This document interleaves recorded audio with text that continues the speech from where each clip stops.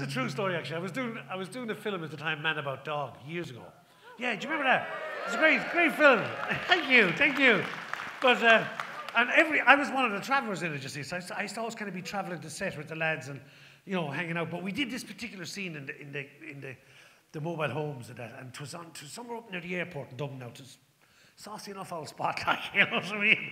And it was late at night, we were doing a night shoot. So it was around Halloween.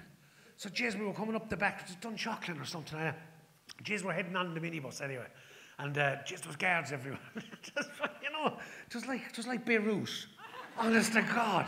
And we got into the campsite. We were shooting there through the night, and just was bangers going off everywhere. You know, it being Halloween, like just. A, and there was a police helicopter flying overhead with the big searchlight, and cars flying up and down the road. And we we're filming the scenes away.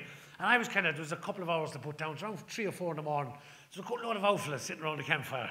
So I said, I go out. so I sat down with the boys, and he was, how are you keeping? Chatting away. The boy says, where are you from yourself? I said, Limerick. And they went, oh.